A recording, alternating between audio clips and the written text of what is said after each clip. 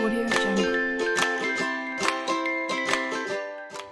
Hello friends, my name is Atharv and I'm 6 years old. I'm genius here from Berryessa campus. Today I'm going to talk about groundhogs.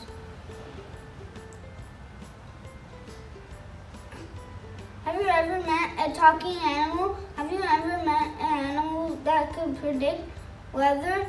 Groundhogs are the cousins of the squirrel family. They dig deep burrows. They Underground they're underground. They're very and hibernate. and hibernate for months. They're very smart animals. Their homes have two exits, so they if they walk one of the exits.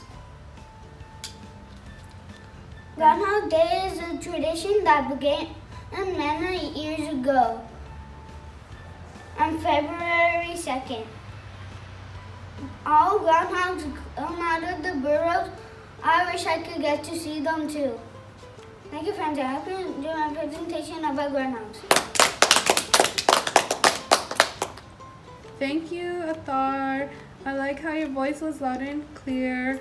However, I would like you to work on your perfect posture and stand up straight. And although your voice was loud, you were talking a little fast, so I want you to slow down next time, okay? Okay, Miss Lupe. Thank you. Thank you, Miss Lupe.